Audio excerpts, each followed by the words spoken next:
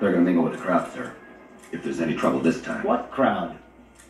There are no people. I'm going to be talking to nobody. With coverage by all the networks, cable, satellite television, more than one billion people will see this event by tonight. Here in Times Square, it's like New Year's Eve.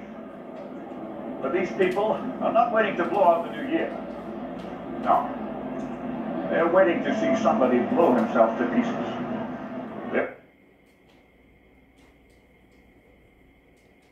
They see themselves on television. Actors in a real-life melodrama. Except for them,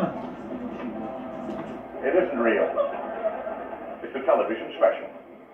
Fun and games, a gory spectacle, the Circus Maximus. But today, there are no Arab students. No violence. The crowd is disappointed. Back to work.